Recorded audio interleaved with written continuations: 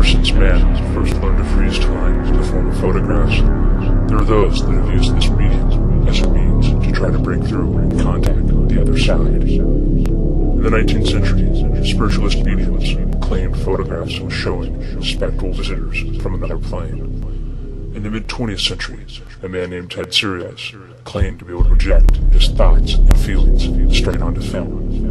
In the 21st century, paranormalist Andrew Mayne discovers a new way to break through to the other side.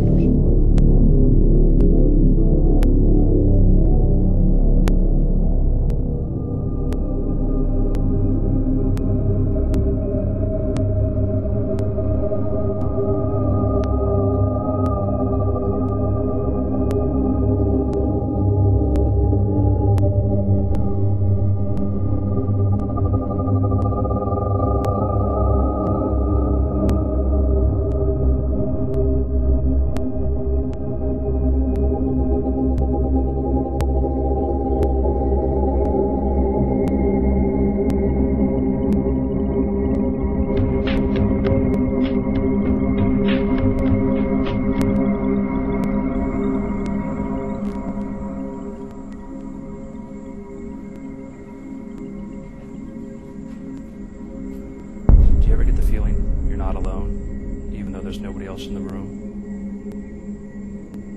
They're always there, hiding in the shadows.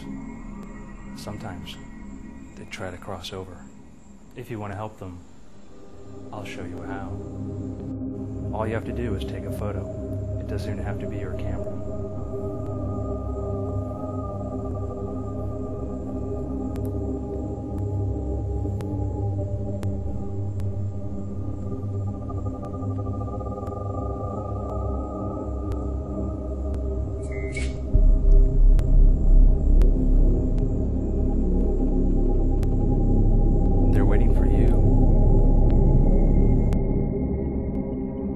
Sometimes, if you look closely enough, you can actually capture them